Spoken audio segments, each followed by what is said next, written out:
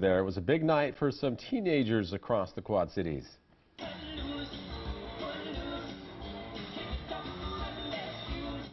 The second annual Night to Shine took place tonight. It is a national prom catered to kids with special needs. Two parties were hosted in Davenport tonight, one at Trinity Lutheran Church and the other at Rhythm City Casino.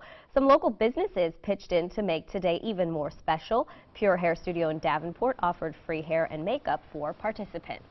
I think just being a mom, and many of us here are moms, I think we all just want to make sure that everybody has a chance to feel special and be included. Former NFL player Tim Tebow's foundation sponsors the Night to Shine. It's an event that dozens of kids in the Quad Cities look forward to every year. Local 4's Tahera Rahman joins us in the studio with how much the night means to one teenager from Bettendorf. Tahera?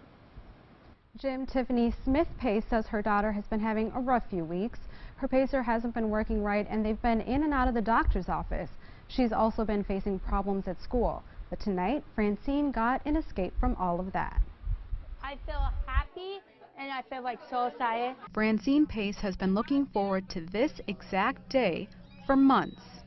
Like, I was worried I was going to get a big afro. While it may be an average Friday night for her classmates, it's the biggest night of the year for her and her friends. you guys cannot wait to see me in my dress.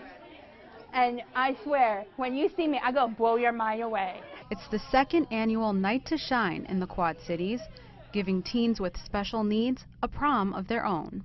The regular kids are like fun to hang out with, but like they kind of relate to like what we've been through. And while the dance might be in the dead of winter, it comes at the right time for Francine. some real hard um, times with some bullying going on at school. Took away a lot of her self-confidence and made her doubt herself and the things that she normally would do. And this just gave her an opportunity to have some freedom and um, to be able to smile and have something to look forward to. And she had a lot of help to make her night special. Free hair and makeup at Pure Hair Studio in Davenport and a donated dress and jewelry. I want Francine to have the life that everybody else has, and seeing businesses contribute to something like that suggests that maybe there's a chance that she could have a pretty nice life without having to worry about discrimination.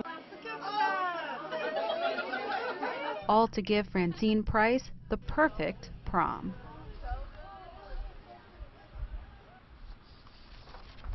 Dozens of, peop dozens of people came out for tonight's Night to Shine event. More than 500 were held around the world. In the studio, Tahera Rahman, Local 4 News. Tara, thanks. They look like they're having a pretty good time. Yeah, out there. hopefully they